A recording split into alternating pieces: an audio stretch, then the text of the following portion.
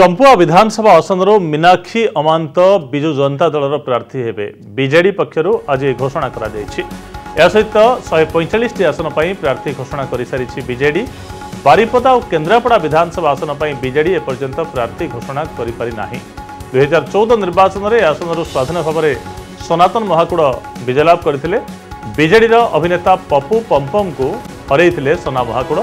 ଏଥର ଚମ୍ପୁଆରୁ ମୀନାକ୍ଷୀ ଅମାଦଙ୍କୁ ପ୍ରାର୍ଥୀ କରିଛି ବିଜେଡି।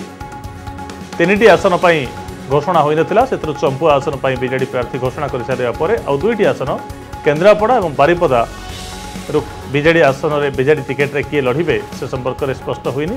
ତ ଶହେ ସତଚାଳିଶ ବିଧାନସଭା ଆସନ ଭିତରୁ ଶହେ ପଇଁଚାଳିଶ ବିଧାନସଭା ଆସନ ଏବଂ ସମସ୍ତ ଏକୋଇଶ ଲୋକସଭା ଆସନରେ ବିଜେଡି ତାର ପ୍ରାର୍ଥୀ ଘୋଷଣା କରିସାରିଛି।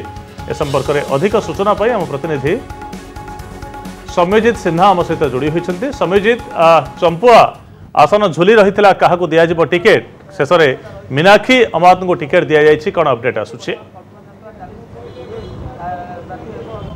ଦେଖନ୍ତୁ ସଂଗ୍ରାମ ଯେଉଁ କଥା କହୁଥିଲେ ବିଜୁ ଜନତା ଦଳ ପକ୍ଷରୁ ଏକୋଇଶଟି ଲୋକସଭା ଏବଂ ଶହେ ଚଉରାଳିଶଟି ବିଧାନସଭା ପାଇଁ ପ୍ରାର୍ଥୀ ଘୋଷଣା ସରିଥିଲା କିନ୍ତୁ ବାକି ତିନୋଟି ରହିଯାଇଥିଲା ବିଧାନସଭା କେନ୍ଦ୍ରାପଡ଼ା ଚମ୍ପୁଆ ଏବଂ ବାରିପଦା। ତେଣୁ ବର୍ତ୍ତମାନ ସମୟରେ ବିଜେଡି ମିଡ଼ିଆ ସେଲ୍ ପକ୍ଷରୁ ଯେଉଁ ସୂଚନା ଆସିଛି ଯେ ଚମ୍ପୁଆରେ ପ୍ରାର୍ଥୀ ବିଜୁ ବିଜୁ ଜନତା ଦଳର ପ୍ରାର୍ଥୀ ହେବେ ମୀନାକ୍ଷୀ ଅମାନ୍ତ ନୂତନ ଚେହେରା ଉପରେ ଦଳ ବର୍ତ୍ତମାନ ସମୟରେ ଭରସା କରିବା ସହିତ ମହିଳା କାର୍ଡ ମଧ୍ୟ ଏଠାରେ ନବୀନ ପଟ୍ଟନାୟକ ଖେଳିଛନ୍ତି। କାରଣ ଚମ୍ପୁଆ ଏକ ଚର୍ଚ୍ଚିତ ବିଧାନସଭା କ୍ଷେତ୍ର। ପୂର୍ବରୁ ସନା ମହାକୁଡ଼ ଥିଲେ ତାଙ୍କର ବେଶ୍ ଦବଦବା ରହିଛି ସେ ଅଞ୍ଚଳରେ। ଏବଂ ସେ ମଧ୍ୟ ବିଧାୟକ ଅଛନ୍ତି ତେଣୁ ତାଙ୍କ ବିରୁଦ୍ଧରେ କାହାକୁ ପ୍ରାର୍ଥୀ କରାଯିବ ଚମ୍ପୁଆଠାରେ ସେ ନେଇ ଏକ କଳ୍ପନା ଜଳ୍ପନା ଜାରି ରହିଥିଲା କିଏ ତାଙ୍କ ବିରୁଦ୍ଧରେ ଲଢ଼ି ବିଜୁ ଜନତା ଦଳକୁ ଜିତାଇବ। କାରଣ ଗତଥର ଯେଉଁଭଳି ପପୁ ପମ୍ପମ୍ ନିର୍ବାଚନ ମଇଦାନକୁ ବିଜୁ ଜନତା ଦଳ ତରଫରୁ ଓହ୍ଲାଇଥିଲେ ଏବଂ ତାଙ୍କର ଅବସ୍ଥା କ'ଣ ହୋଇଥିଲା ତେଣୁ ତାଙ୍କ ବିରୁଦ୍ଧରେ ବା ବର୍ତ୍ତମାନ ସମୟରେ ଚମ୍ପୁଆରେ କାହାକୁ ନିର୍ବାଚନ ମଇଦାନରେ ଚମ୍ପୁଆରେ ପ୍ରାର୍ଥୀ କରାଯିବ ବିଜୁ ଜନତା ଦଳ ପକ୍ଷରୁ ସେ ନେଇ ଅନେକ ଚିନ୍ତା ହେଉଥିଲା ତେଣୁ ଦଳ ପକ୍ଷରୁ ବର୍ତ୍ତମାନ ସମୟରେ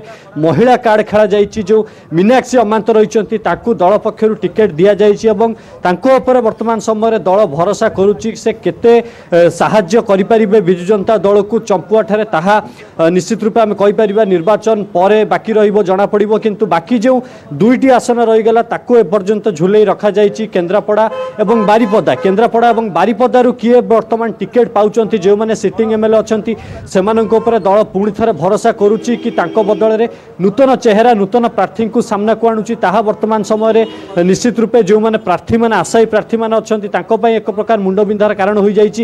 କାରଣ କିଏ ଟିକେଟ ପାଇବ ସେ ନେଇ ଯେଉଁ ଚର୍ଚ୍ଚା ନିଶ୍ଚିତ ରୂପେ ସେମାନଙ୍କ ମନରେ ମଧ୍ୟ ଅଛି ଏବଂ ଆଶା ମଧ୍ୟ ରଖିଛନ୍ତି ଯେ ଦଳୀୟ ପକ୍ଷରୁ ତାଙ୍କୁ ଭରସା କରାଯିବ ଦଳୀୟ ଟିକେଟ ମିଳିବ। କିନ୍ତୁ ବର୍ତ୍ତମାନ ସମୟରେ ମାତ୍ର ଗୋଟିଏ ବିଧାନସଭା ଆସନ ପାଇଁ ପ୍ରାର୍ଥୀ ଘୋଷଣା କରିଛି ବିଜେଡି ଏବଂ ଆଉ ଦୁଇଟି ସିଟ୍ ବର୍ତ୍ତମାନ ସୁଦ୍ଧା ଘୋଷଣା ହୋଇନାହିଁ ଯାହା ଅ, ସୂଚନା ରହୁଛି ଆଜି ନହେଲେ କାଲି ଆସନ୍ତାକାଲି ଏହି ଦୁଇ ଦିନ ମଧ୍ୟରେ ଘୋଷଣା ହୋଇପାରେ କିନ୍ତୁ ବର୍ତ୍ତମାନ ସମୟରେ ଗୋଟିଏ ହିଁ ଡିକ୍ଲେୟାର କରି ମୁଖ୍ୟମନ୍ତ୍ରୀ ମୁଖ୍ୟମନ୍ତ୍ରୀ ନବୀନ ପଟ୍ଟନାୟକ ଗୋଟିଏ ଆସନ ପାଇଁ ବିଧାନସଭା ଆସନ ପାଇଁ ଡିକ୍ଲେୟାର କରିଛନ୍ତି ଏବଂ ଆଉ ଦୁଇଟିକୁ ବର୍ତ୍ତମାନ ସମୟରେ ଝୁଲେଇ ରଖିଛନ୍ତି। ସଂଗ୍ରାମ।